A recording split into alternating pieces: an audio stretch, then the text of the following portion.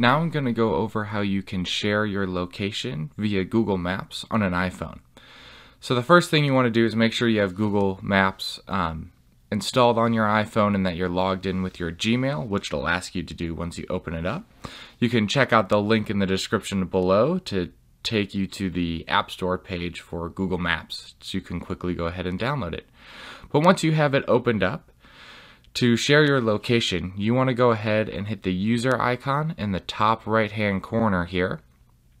Once you do that, you will see the option for location sharing.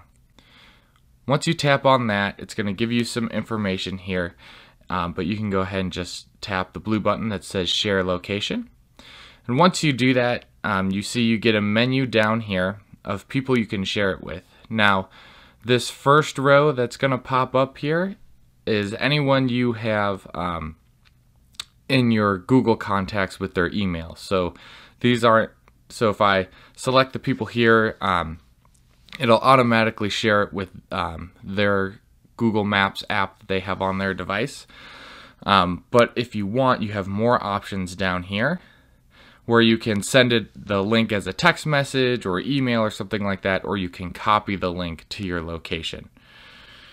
Now you also have an option here that says for how long do you want to share your real-time location? And it defaults for one hour but you can increase that basically all the way up. As you can see we keep going up to about 12 hours and then we get to one full day and then two full days and three full days is the max.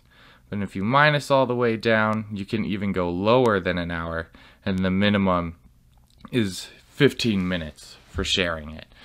You can also have the option here that says until you turn this off. But as you can see when we select that, we only have the row here and we don't have those more sharing options down at the bottom. Oops.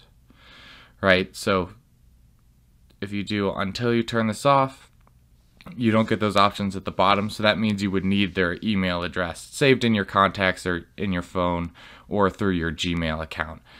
So just keep that in mind.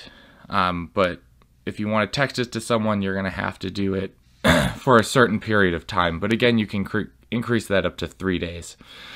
Um, even if you just select um, a certain amount of time, you can always come back in here um, via the same way we got here and you can cancel um, that sharing. So say you share it for three days and after a day you don't need to share it anymore, you can come back in here and cancel location sharing.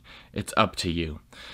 So this is kind of one way you can just share your basic location if you want to um, in the Google Maps app on an iPhone.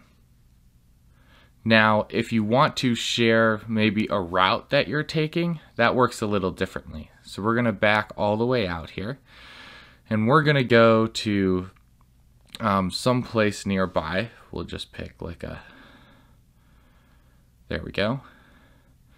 And we're going to just start the navigation, okay? And if I want to share this route with someone, so maybe I'm on my way to a friend's house and um, this will make it easier for them to see, you know, how long it's going to take me to get there and when I will arrive so they don't have to keep calling or texting me while I'm driving.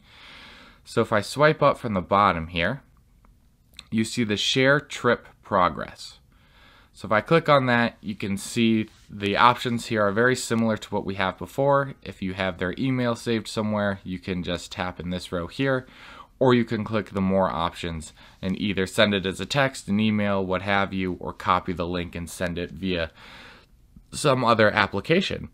And that will um, show your trip, where you're headed, and how long it's going to take you to get there.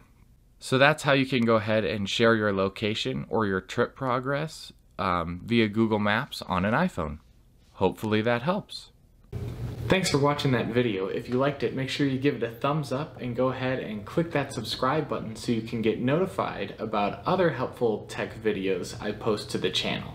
Thanks for watching.